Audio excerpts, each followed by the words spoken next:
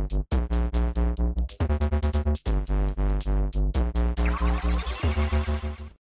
everybody, I hope you're all doing well. So I'm having trouble with my Pinnacle Studio 18.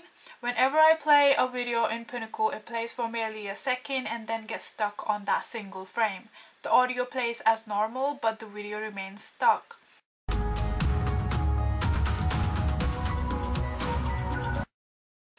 And that really sucks for editors. How are you going to edit if you can't even see what you are editing?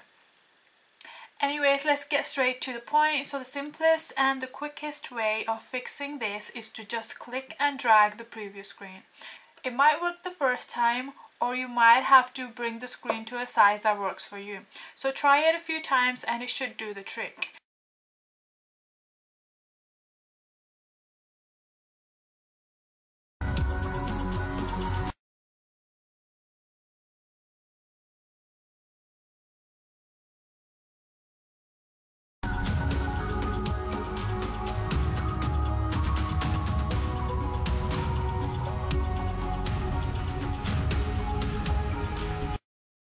As you can see, my video is now playing as it normally should. The solution was mentioned in a comment on one of many videos I watched to solve my problem. This is the only thing that worked for me and I hope it works for you guys as well.